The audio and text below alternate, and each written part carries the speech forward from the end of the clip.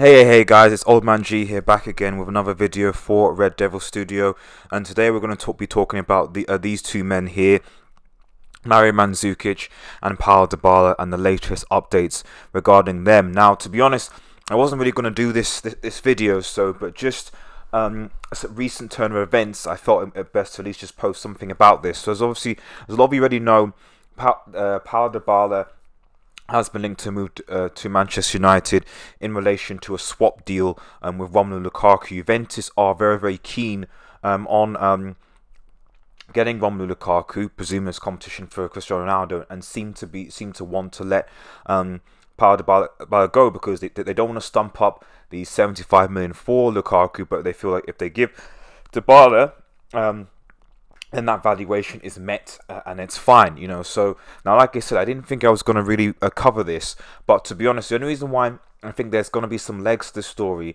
is the fact that Juventus recently, because Everton have announced the selling of Moise Kean, Moise Kean, who's now now an Everton player, and now Moise Kean was he wasn't a massive massive figure, um, but it's officially been announced that he's now now an Everton player.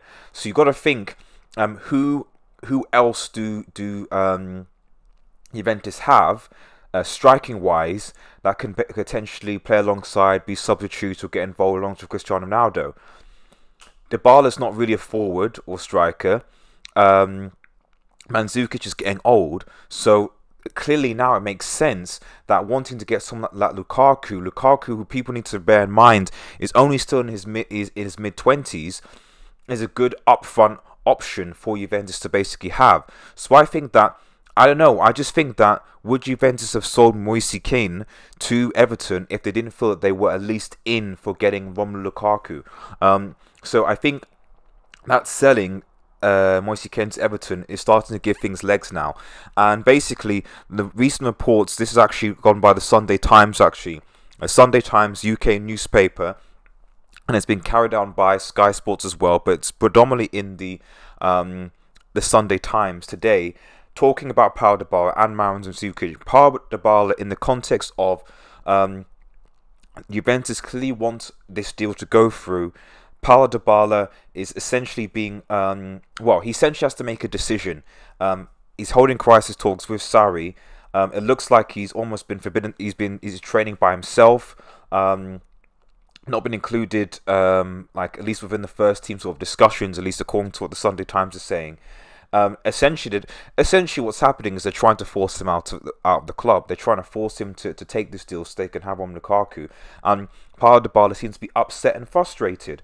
Um, now, again, there is something to be said about how, um, you know, do you think that, um, I don't know, do you think that it's a good idea to sell a play to buy a player who doesn't really want to leave Juventus, who's not happy to go to Manchester United, who thinks that Manchester United is a step down um, from being where he is. Is that the type of player who hasn't really had time to gel, um, you know, with the club?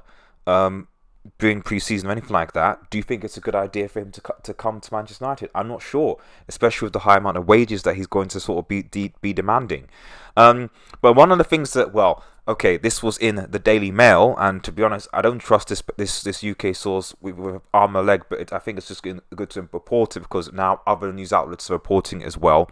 But the original source seems to come from the Daily Mail, is that apparently um, United have also set to sign Mario Mandzukic um, after agreeing personal terms, um, even if the swap deal involving Romelu Lukaku hits the rocks. So essentially, it seems that Mario Mandzukic potentially, although I don't trust, I, I just think it's unlikely. I think it's weird. Although I would understand from the point of view of, although Mario Mandzukic is 33, um, uh, he he is another option, another option for United to bring on, bring off from the bench as a forward option, a bit more experienced, um, just something different. And he's very tall, Mario Mandzukic, so you know it's almost like signing a Giroud type player um, for United. I think, although you know he's on apparently according to, to to the Mail, he's agreed a three-year deal of 120,000 a week, which considering what other players on is not that bad. It's only three years as well. Um, I still think it's a bit kind of, can we not sign any other forwards?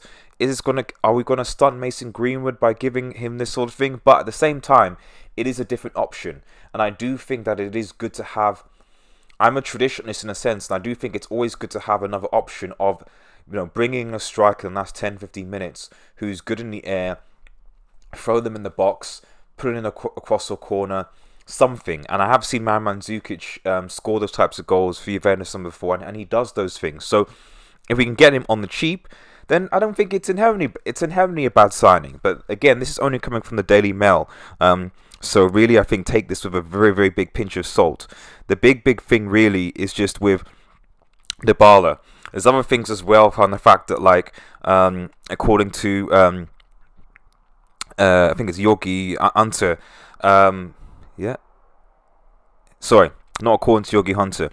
Um, basically, according to Sky Sports Italia, sorry, get get my source right. According to Sky Sports Italia, United aren't particularly happy with Dybala's agent because of the amount the the amount of agency fees that obviously are going to pay to him. So that's again something that could be slowing the deal down. Um, and adding to the sort of the frustration regarding Dybala, as I said before, he's been forced to train on his own and has been put on the transfer list. You know, so I, I don't know what you think about this, guys, but really, um, I'd be very, to be honest, I guess what I've said in previous videos, I think Dybala is a distraction. To be honest, I'd be more happy with getting Bruno Fernandes and maybe an, a Mandzukic and Lukaku goes. Um, because I just think that you're going to get another high paid player who's in his mid 20s, who doesn't want to potentially come to United, who's already throwing for it, doesn't want to leave. I just think that that type of player, in combination with other players, may be quite toxic at the club.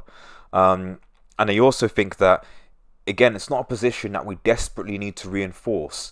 He's a good player, no doubt he's talented, but he can be inconsistent. And considering the fact that we desperately need a midfielder, and we're yet to hear about Bruno Fernandes. I mean, we ha- essentially have guys. There's four more days the transfer window left. If United are going to sign either Bruno Fernandes or Dybala, it's going to have to be done ASAP. Uh, and we will have a, a, a midnight show, a midnight show, probably an hour show, um, probably about 11 o'clock ish that they're about. Basically, just sort of almost counting down to to to deadline, transfer deadline, you know, just talking about um, Manchester United and what to expect. So that is something that we're obviously going to going to be going to be covering. Also, stay tuned this Friday evening as well. It's going to be our Premier League fans uh, live Radio, Red Devil Studio live, where we basically will get a lot of Premier League fans as we um, preview the up and coming season. So stay tuned for that. And on top of that, we'll be starting our PES videos as well. I'll be posting a reaction uh, to the PES 2020 demo sometime tonight, so stay tuned for that as well. Thanks for listening, guys. Do you think Dybala and Mandzukic are good signings? Please like, share, and subscribe to Red Devil, Stu Devil Studio and comment below. Follow us on Twitter, We Are United X. Have a nice evening, guys, and cheers.